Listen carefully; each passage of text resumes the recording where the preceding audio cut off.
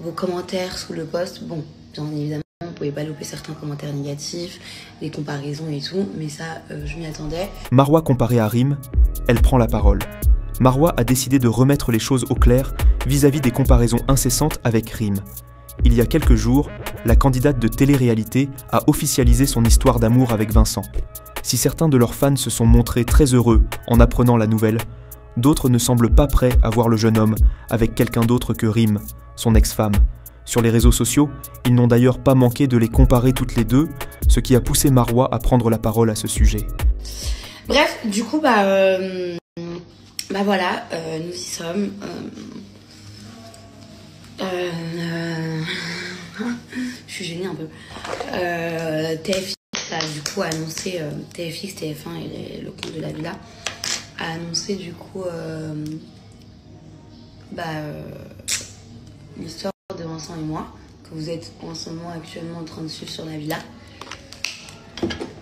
Mais c'était de base, quand t'es en tournage et que tu te mets en couple avec quelqu'un, tu peux pas te montrer avant la fin de la diffusion, mais bon, euh, on vit ensemble, donc c'est un peu compliqué pour nous de se cacher. Et, et, du coup, bah, ils ont annoncé hier, je vais vous mettre la vidéo juste après.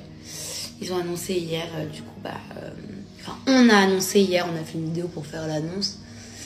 Et euh, je voulais vous remercier pour tous les messages d'amour, pour tous les messages de bienveillance, pour tous vos commentaires sous le post. Bon, bien évidemment, vous pouvez pas louper certains commentaires négatifs, les comparaisons et tout, mais ça, je m'y attendais. Et puis je vous avoue que je n'y prête pas attention, je m'en fiche complètement.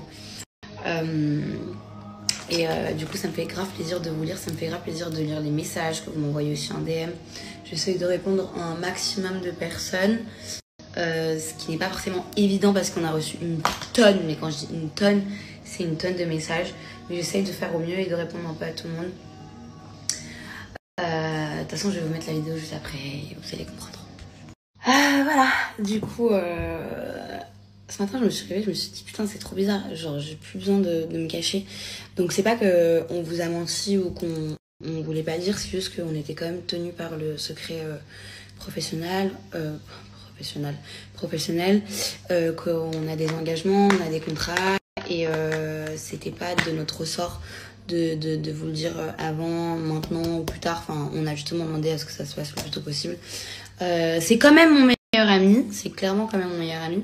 Et, euh, et puis bah voilà, euh, comme on l'a dit dans la vidéo, euh, c'est qu'un petit détail entre guillemets.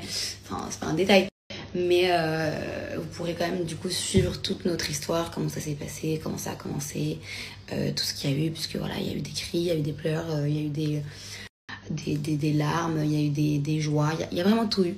Et du coup, bah, on vous laisse suivre cette histoire tout au long de l'aventure de la Villa des saison 9.